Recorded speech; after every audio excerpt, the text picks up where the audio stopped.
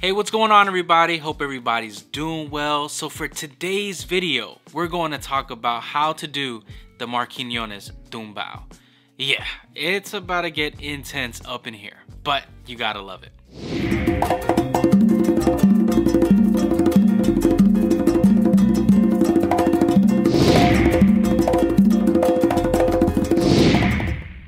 Welcome back to A Percussion Life. My name is Eric Perez. If you're new to the channel, please hit that subscribe button and that notification button just so you could find out when I upload. And if you're a day one, thank you for coming back and checking out this video. Thank you so much for all the love, the support, the comments, the suggestions.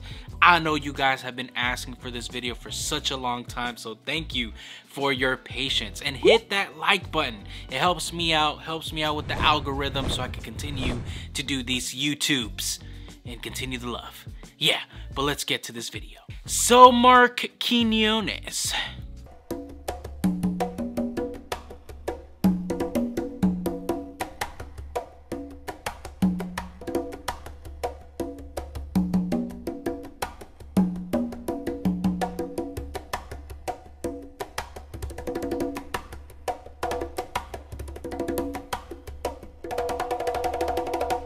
trying to tell you guys, I've been holding out on doing this video for such a long time because it's so hard to talk about this living legend, man, and this big influencer, especially on my generation. Man, every time I see him play, it's like he made playing percussion cool. Like I, I don't know what it is, man. He he made playing percussion just like cool. I I just gotta love Marc Quiñones in all seriousness, this guy has influenced so many players. His unique approach and style kind of like broke the rules or broke protocol. He kind of made it seem like, you know what, you guys have a specific way. Let me try my own way and see if it works. And guess what? It worked. I would say Marc Quiñones alongside with Bobby Allende kind of set a trend and made their own path and ways to create a specific sound that really reinvented the 90s and really reinvented how a lot of people that grew up in the 90s like myself heard and listened to music. And it kind of made it hip in a way. I don't know another way to kind of describe their style but so trendy and ahead of its time.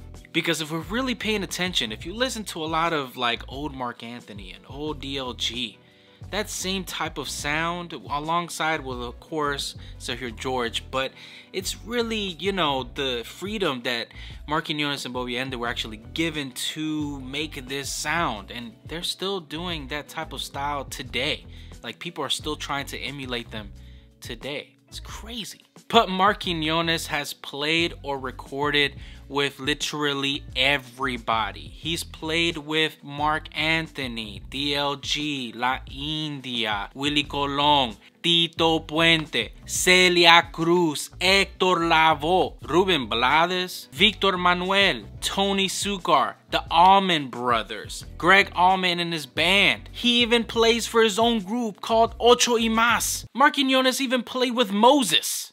Yes, Moses from the Bible. That's how he's played with everybody. I'm trying to tell you, he's played with Moses. Literally, the diversity in his style is limitless. He's one that I could say that I look up to in regards to he could play salsa so well and then switch everybody up and go and play with the Allman Brothers. Like, how do you go from salsa to southern rock? Like, who who who does that? It's, it's just crazy. Just just the levels, the levels it there's levels to this, and his level is like, you put me anywhere and I could play it. Literally. Marc Quiñones is a guy that you could put him on timbal and he's gonna sound phenomenal. You could put him on bongo and he's gonna sound phenomenal. But when you put him on congas, it's very weird and, and, and I mean that in the good way, the good weird. You know, the, the there's a type of weird where you're like, nah, that's just. Mm. But there's a weird where you're still kind of processing what just happened, and you can't really explain it because it doesn't make sense. That is Marc Quiñones because it's a little bit different than how his style in timbal is. Because even though like he's unbelievable on timbales. And even though he's unbelievable on bongos, there's a specific like style that he does on congas where it seems yes, effortless, but at the same time involves so much feel.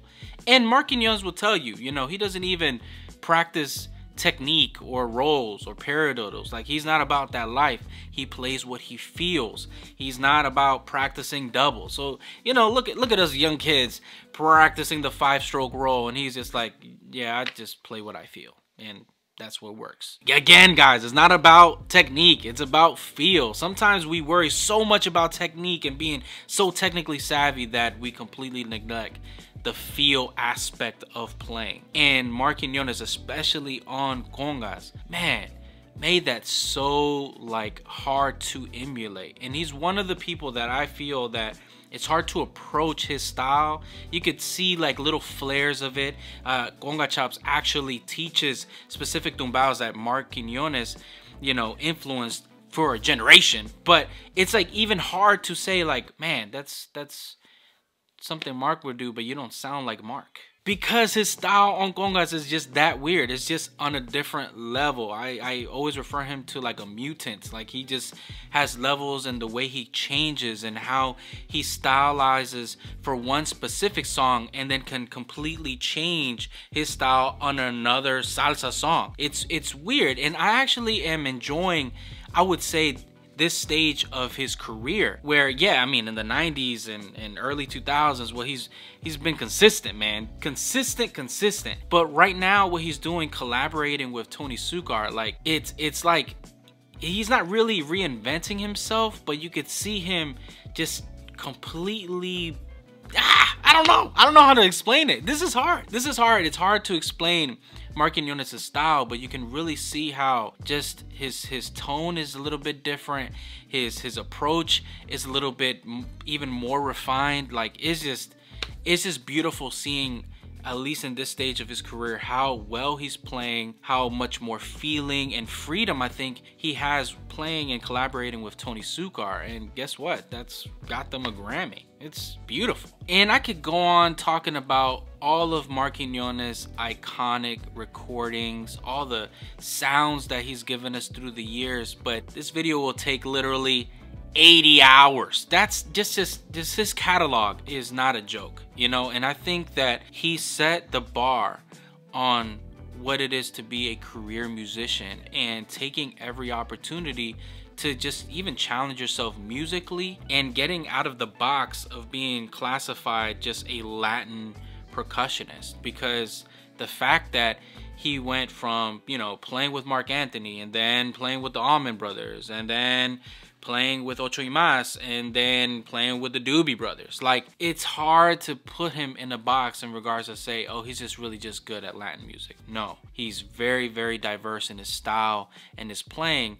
And that is something that I personally look up to because I'm one that plays a lot more contemporary, you know, American, smooth jazz, funk music where, you know, I'm known to play also tumbaos and being part of certain salsa scenes. So it's like it, I, I like to be put in a category where it's just a percussionist. That if you put me to play African music, I could play African music. If you put me to play cumbia, I want to play cumbia. If you put me to play merengue, I will try to play merengue. Like that's kind of where I personally want to be categorized, where it's just a percussionist, not a Latin percussionist, but just a percussionist in general, and be well versed in all these areas. And I think someone like Marc is somebody that really, really set that pedestal and set that bar for us to look up to say man you know eventually i want to get there maybe not there not, maybe not even halfway because come on now his catalog is crazy man so yeah i do want to share this tumbao with you um I, there's a bunch that I could have picked out, but uh, again, I, I, actually enjoy the stage that he's in right now, playing with Tony Succar. And there's a song that I think they released maybe like two years ago or a year ago. I don't know. 2020 took felt like forever. But it was actually from uh, Tony Succar's last album, which is Lo que pase aquí.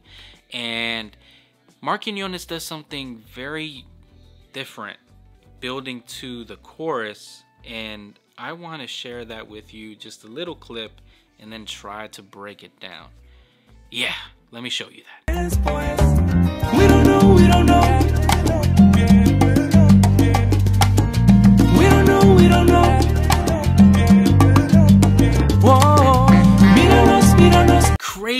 Right? So much feel in such little time. I don't think that pattern has a specific sequence or anything like that. Honestly think he was just feeling the vibes and just vibing with the song, man. It's just crazy, man. Crazy to try to dissect that pattern. So I'm gonna try my best to play it and show it for you guys and then try to break it down because Marc, man, I'm, I'm sorry. I'm sorry for this, Marc. It's not gonna sound great, remotely close, probably not even like the song. Sorry, but I'm gonna try. I'm gonna try my best. But yeah, let me show you the pattern.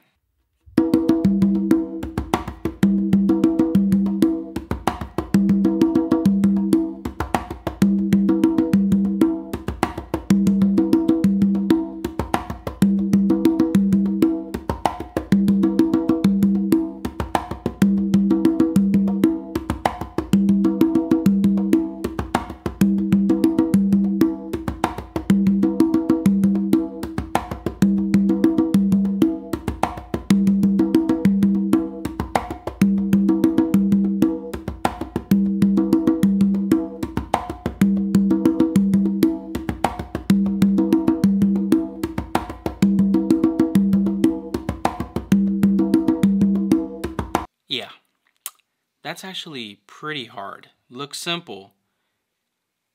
Marc, you're crazy, man. Crazy.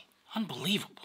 So let me try to break this pattern down for you guys. Again, I will put the original song down below where you guys can listen to it, play along, and analyze the craziness that Marc is doing on this song. And like usual, I will slow this pattern down and play it to clave and count it for you guys at the end of the video. I do believe this song is in 3-2 son clave, but again, knowing Marc, breaking the rules, playing this crazy pattern based on feel and just experience. It's beautiful. So what he's actually doing here, he's actually doing three different patterns like a cycle.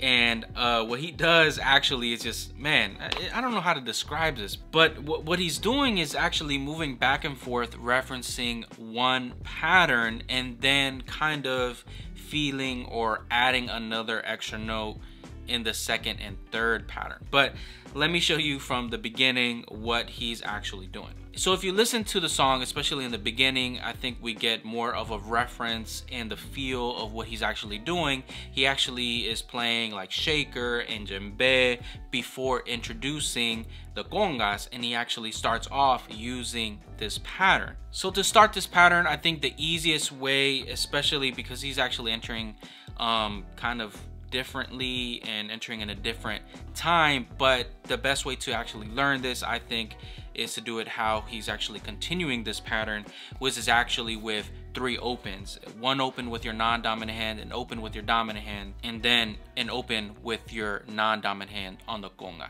so it's gonna sound like this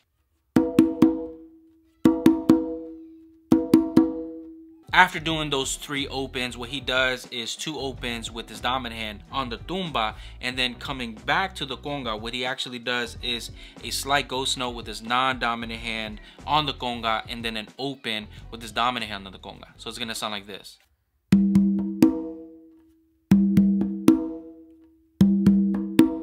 So to put that together,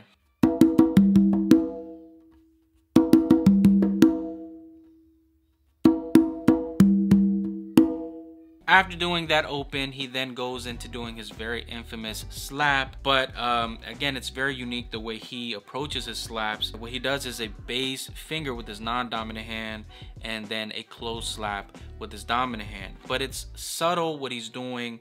It's not really like this is not really that noticeable. He kind of holds back a little bit. It's a little bit more aggressive when he goes into the chorus, but for this specific part, he kind of holds back that part so it doesn't make it as noticeable, but that close slap is like right there in your face. So it would sound something like this.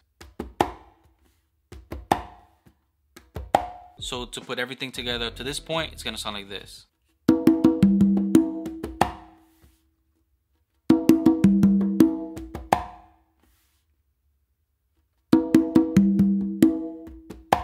Here comes the sabor part. This is the crazy part where it, it just took me a minute, man. I'm like, it looks so simple, but he's doing something weird, man. I'm trying to tell you. All right, man.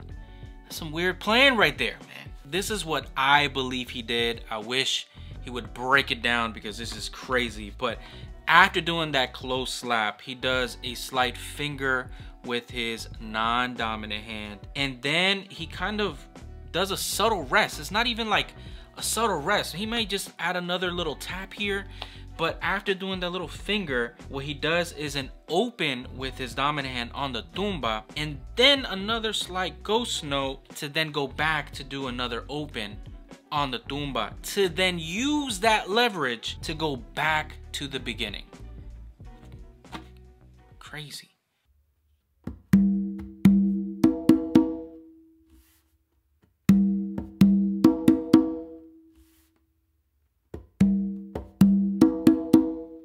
Let me play it all for you going back to the beginning just so you could kind of get the concept and hear the feeling, the mania, the sabor, the sazon, the cubito, the sofrito, all that. Man, Marc, my gosh.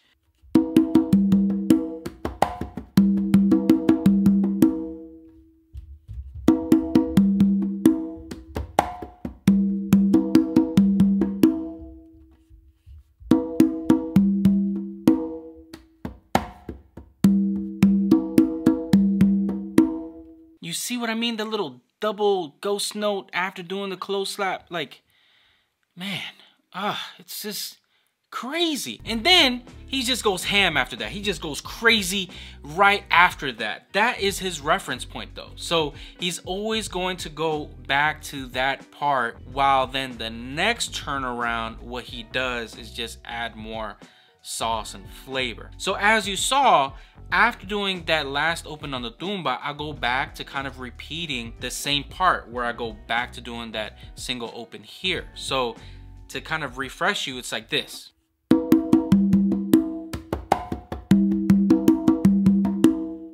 So right after doing that open, we're gonna go back doing the same thing, that same base finger close slap, but now this is where he kind of changes it up. This is where he decides to do maybe two opens together rather than doing that little space part, or sometimes what he'll do is three opens, but he still goes back to referencing those three opens here on the conga. So to kind of show you the difference right after doing that close slap, it's gonna sound like this.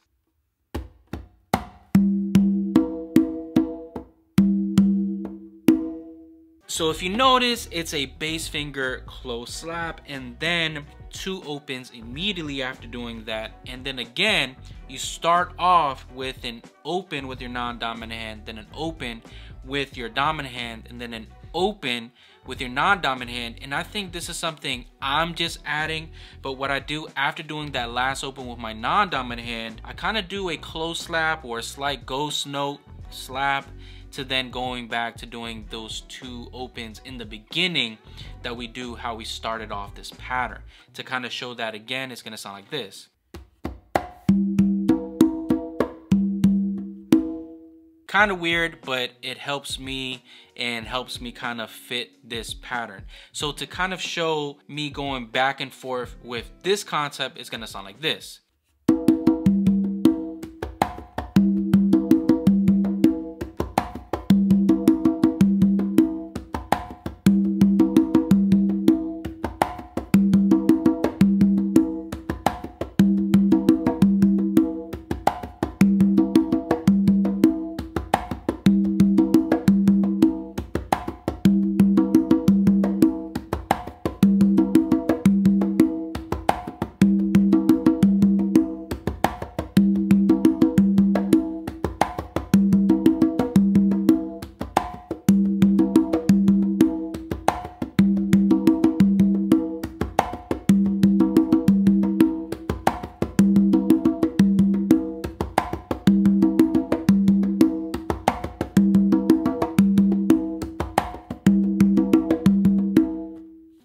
Crazy. I know, man. Every time I look at him, I'm just like, gosh, Marc, why are you so good? But aside from doing that pattern, he also does the pattern where he adds kind of like three notes. So he starts off the same way on that two note pattern here, but he actually adds just an extra note and kind of adjusts what he's doing here on the conga. So to kind of show that going from the close slap, it's gonna sound like this.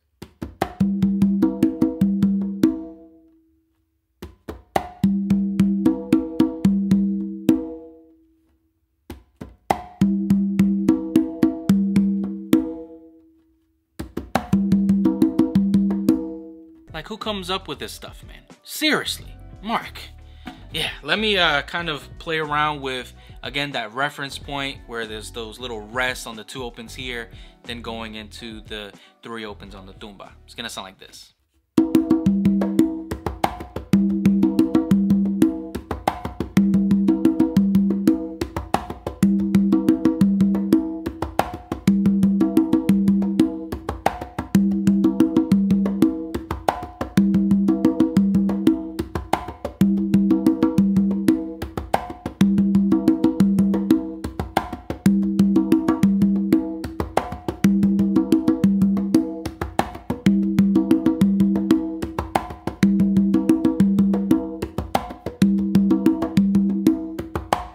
Trying to tell you guys, Marc Marc Quiñones is on a different level. Thinks differently. Thinks differently. Completely different. Wow. Yeah, let me play it all together. Let me just try again. Marc, again. I'm sorry, dude. Sorry, man. Try my best here. Trying my best here.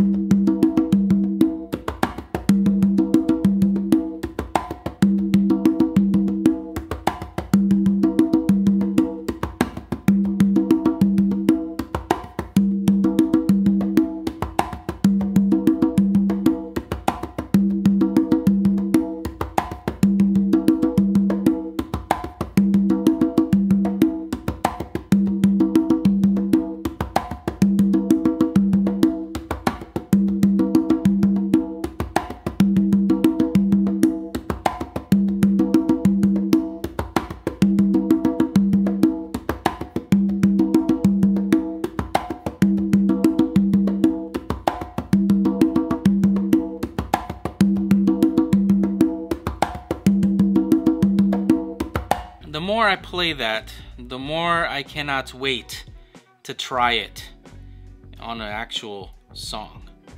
But I doubt it will sound remotely the same. Yeah, let me play it slow for you guys, counting it and playing it to clave, where I think it fits best in and how I think you guys may understand the feel a little bit more. But again, listen to that song, guys. Listen to Tony Succar, Lo que pase aquí, and listen to what Marc is doing. It's just, it's just crazy. Vibes, vibes. But yeah, let me count it slow for you guys so you guys can kind of get the little, little spices that I'm doing. One, two,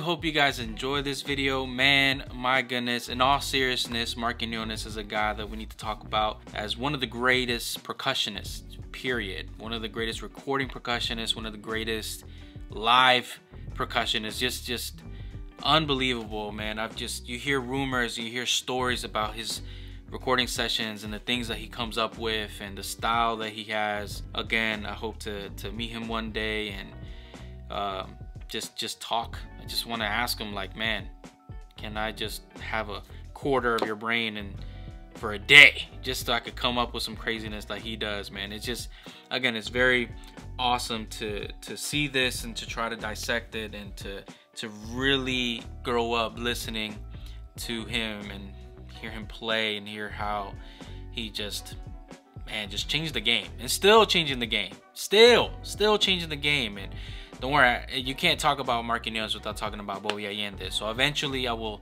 do a video on Bobby Allende but even Bobby Allende I can't I can't man have you seen how Bobby Allende plays like like the most perfect hand posture ever in the world like who who my goodness these guys I'm trying to tell you mutants mutants. They just have extra superpowers.